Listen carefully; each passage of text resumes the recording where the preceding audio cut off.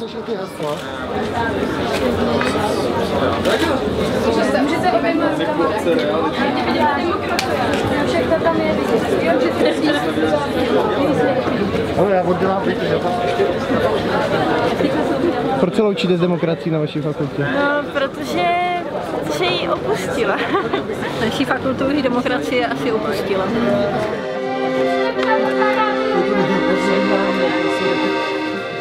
Fakulta architektury VUT v Brně je v současné době svědkem série bezprecedentních událostí.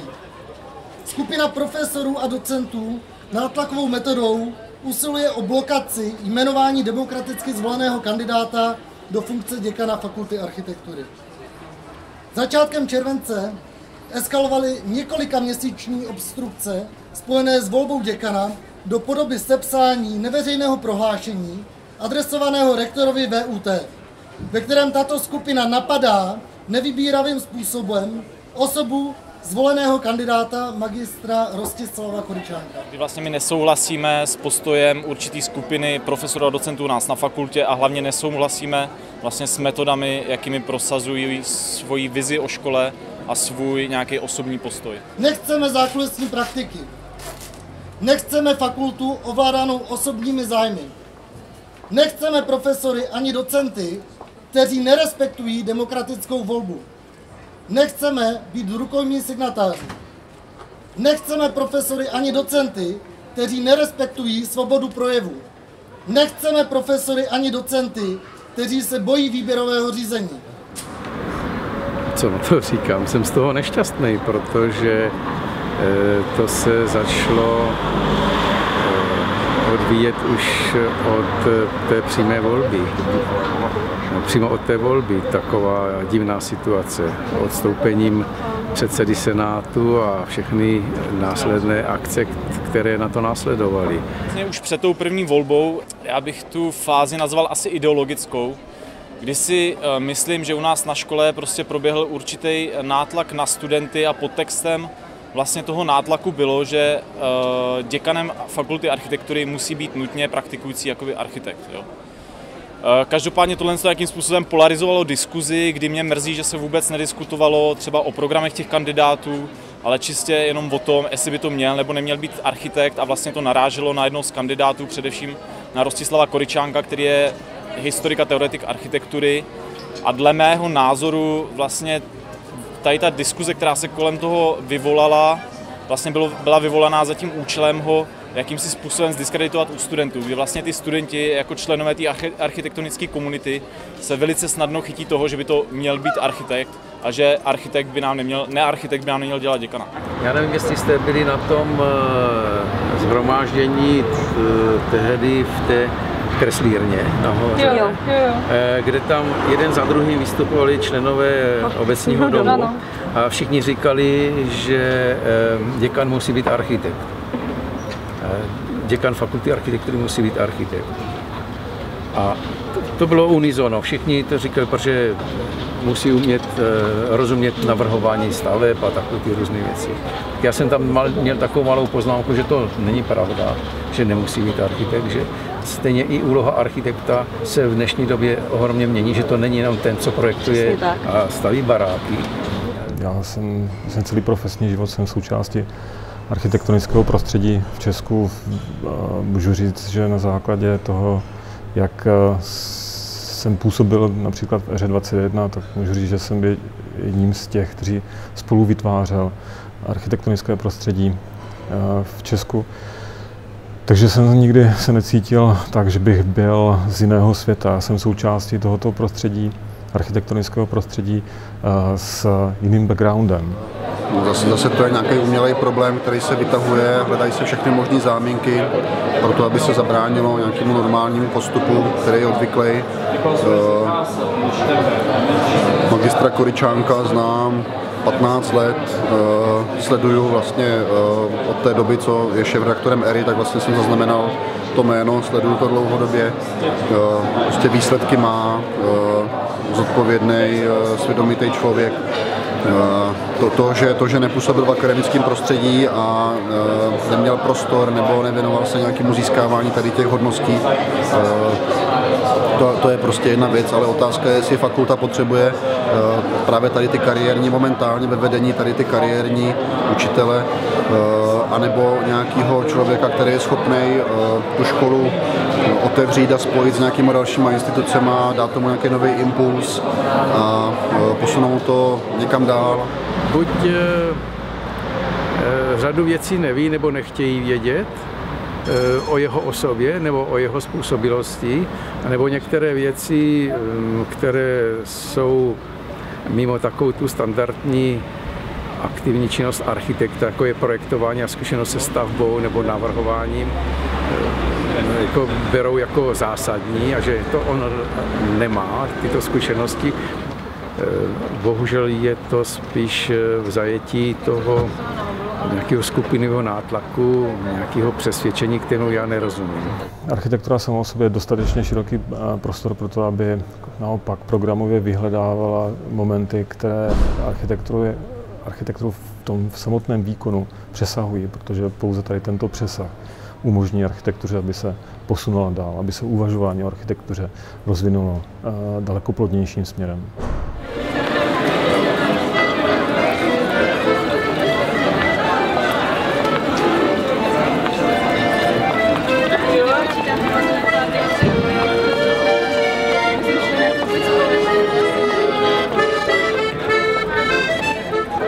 vlastně začalo už při té první volbě, kdy předseda Senátu profesor Pelčák, který vlastně dle mého názoru nesouhlasil teda s tím, že by měl být zvolen kandidát Rostislav Koričánek. Zase je to můj názor, na jeho motivaci se můžeme ptát. On tvrdí, že Senát byl uh, podjatý, čemuž já nerozumím přesně, co tím jakoby myslí. Každopádně z tohoto důvodu rezignoval. Dle mého důvodu rezignoval čistě účelově a z toho důvodu, aby ta volba nemohla proběhnout. To vlastně spustilo fázi, kterou bych nazval právní bitva, kdy už se nejednalo o to, zda to má být architekt nebo to nemá být architekt. Pod textem této fáze je zdiskreditujeme Senát. To znamená, že začala eh, kolotoč právních posudků, sná najít jakoukoliv chybu vlastně v tom, eh, v tom procesu té volby, eh, snaha najít jakoukoliv chybu v konání toho Senátu. A dneska máme na světě asi 6 nebo 7 posudků, která většina až na jeden jediný, který teda zadal pan profesor Ruler, až na tento jediný posudek, všechny tyto posudky v podstatě posvětili jednání toho Senátu. Sám vím o řadě momentů, které, které byly programově nasměrovány na to, aby eh, Senát eh, nebyl usnášení schopný. Vím, jakým způsobem to probíhalo. To, že část akademické obce není ochotná respektovat výsledek volby Senátu, který se obnovil, tak je pro mě v tuhle chvíli s ohledem na to, jak věci probíhaly, snaha uh, vlastně do, doklad jakéhosi spronevěření se uh, principů, které by měly na akademické půdě platit, stejně tak, jako by měly platit obecně ve společnosti. Třeba Pelčák, ten argumentuje tím, že vlastně se znemožnila demokratická volba, ale kandidovat mohli všichni, eh, hlasoval Senát, nikdo, nikdo nebyl nějakým způsobem vydíraný nebo nějak eh, prostě tlačený do něčeho, aby nějak hlasoval, volba je tajná, jo, takže eh, to je, to je prostě to je to umělý argument, používaný čistě účelově k tomu, aby se zase eh, obstruhovalo, něco se, eh, vyvolávaly se nějaké emoce úplně zbytečné, eh, důvody, které má někdo zkoumat v zákoně nebo u soudu.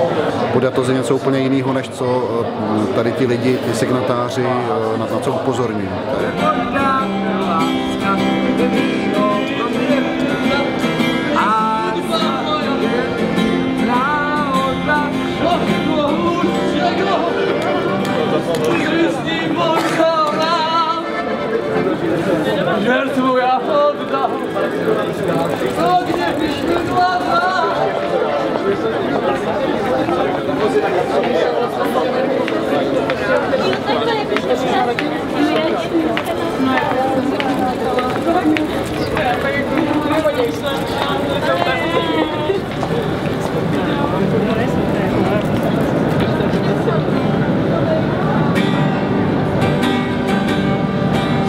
Vlastně, i když si myslím, že uh, ty argumenty, kterými oni ty své kroky zdůvodňovali, tak skrývají jiný jakoby cíl, než oni zdůvodňovali. tak pořád vlastně jsme byli jakoby na hranici jakoby dohadů a ty lidi na to měli nějakým svým způsobem jakoby právo tyto kroky učinit. To znamená, pan Pelčák měl právo rezignovat na předsedu Senátu. Otázka je, proč to učinil vlastně v průběhu volby. Otázka je, eh, proč měl předem připravenou rezignaci, proč to neudělal dřív, pokud nesouhlasil eh, tak vehementně prostě s konáním Senátu, eh, proti kterým už protestoval předtím. Takže na toto všechno se můžeme ptát, ale každopádně on měl na toto právo. Ale teďka vlastně došlo ke kroku, o kterém se domníváme, že je opravdu jakoby v tom pozitivním slova smyslu v rozporu s jakýmikoliv demokratickými principy. Jsme teda ve fázi, kdy Rostislav Koričánek byl zvolen a má být jmenován děkanem. A vlastně úzká skupina profesorů na uzavřeném jednání podepsala prohlášení, které je problematické ze spousty, ze spousty ohledů, ale nejdůležitější je, že oni vlastně tímto prohlášením deklarovali, že pokud eh, ten zvolený kandidát bude jmenován do své funkce, eh, tak je to neslučitelné s jejich dalším působením na škole. A toto prohlášení bylo adresováno rektorovi a bylo neveřejné a tajné. A my se domníváme, že vlastně tímto aktem eh, se velice úzká skupina lidí v podstatě nátlakovou metodou snaží zvrátit demokratické rozhodnutí Senátu.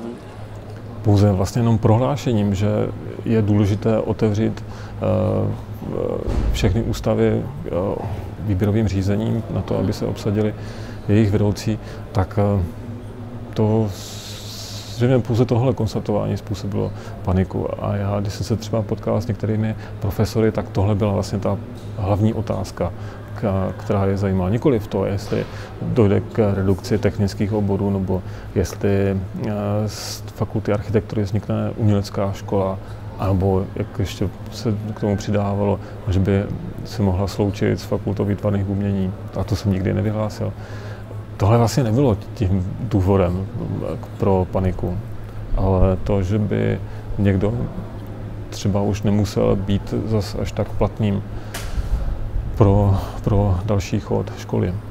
Bavila jsem se o tom eh, akorát s, eh, s panem Chybíkem, který to podepsal a jenom říkal, že, že tam ty důvody jako napsali.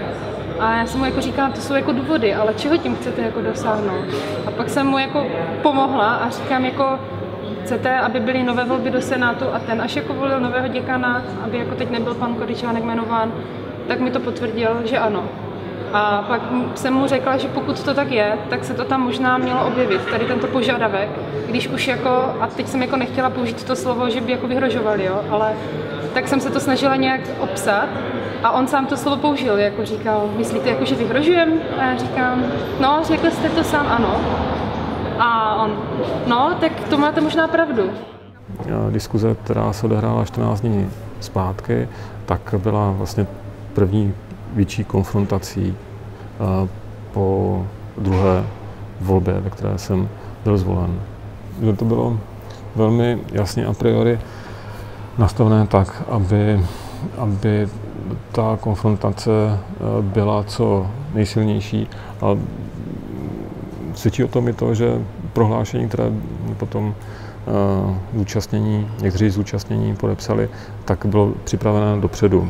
A tak jak eh, já jsem potom měl možnost si číst jednotlivé body, tak tohle byly ty body, které eh, byly i součástí scénáře celého toho setkání. To, co se odehrává v tuhle chvíli na půdě, nebo nejenom na půdě eh, Brněnské fakulty architektury, tak svědčí o tom, že, že těch potíží je mnohem víc, než já jsem si sám při tom, když jsem začal uh, ten prostor si sám pro sebe ohmatávat, je jich mnohem víc. A proto mně přijde úplně jako absurdní, že prostě jako o, Fránek nebo jako Tonda Novák prostě radši jezdí jako pět hodin do Liberce, o, když mají prostě kancel jako v Brně, ne? To mně přijde jako úplně absurdní. Ale ale jako pořád, pořád prostě by mě přišlo strašně škoda, kdyby prostě jsme řekli, jako obecní dům je špatně, jako to si myslím, že tak fakt jako není. Předseda obecního domu je Petr Pelčák, a nejaktivnější jsou ještě Rustin s Válou, Křivinka, Burian.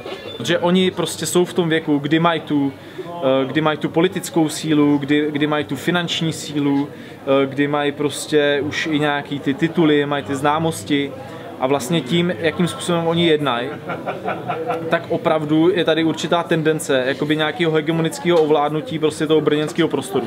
Ať už ty jakoby produkci a, a, a součást toho našeho sporu co se týče fakulty, tak i nějakou roli v tom prostě hraje vlastně tady ta provázanost jakoby s obecním domem. No. Rozumím tomu tak, že v podstatě se změní, mění se určitá mapa vlivu, rozdělování financí a to prostě ti lidi, kteří momentálně jsou ve vedení fakulty špatně snáší a snaží se, nebo dělají všechny možné obstrukce a používají všechny možné nástroje, které mají k dispozici, aby tomu zabránili a aby no, to, to stávající rozložení, řekněme, sil, nebo jak to nazvat, prodloužili co nejdíl a pokud možno ho zachovali do budoucna, aby se neměnilo. To znamená článek 7. Považujeme teda za nejvíc problematický od z prohlášení docentů a profesorů ze dne 3.7.2014. MGR Rostislav Koričánek se v prostředí akademického pracoviště v FAVUT v Brně obklopil osobami, pro které je prosperita školy okrajovou záležitostí. Nýbrž jdou cestou osobního prospěchu. A to též platí také o osobách, které se doposud nacházejí mimo rámec FAVUT v Brně. Jeho podporovateli jsou rovněž zástupci občanských iniciativ a nositelé alternativních názorů, kteří v případě jmenování MGR Rostislava Koričánka by našli zpřízněné představitele instituce, která jejich jednání může zaštítit. V tomto kontextu by FAVUT v Brně ztratila svou po léta budovanou nezávislost a nestranost. Uh, talenta Vita mi přijde prostě absolutně jakoby otřesná. Domnívám se, že si nikdo jako nemůže dovolit, uh, ať už si jakoby myslí cokoliv, aby toto zaznívalo prostě z akademické půdy. Protože akademická půda by prostě uh, měla právě být tím nejvyšším jakoby garantem nějaký soutěže názorů, otevřenosti. Co se týká toho, že by se mohli dostat na školu lidé, kteří mají dokonce alternativní názory, tak to je možné komentovat pouze tím, že škola je povinována, aby vyhledávala diskuzi a diskuze na pozadí alternativních názorů je vlastně tím nejlepším základem pro, pro diskuzi. Uzavírání se tomuto znamená, znamená podrývání samotné podstaty školy. Škola je především diskutování o tom, jak může vypadat svět.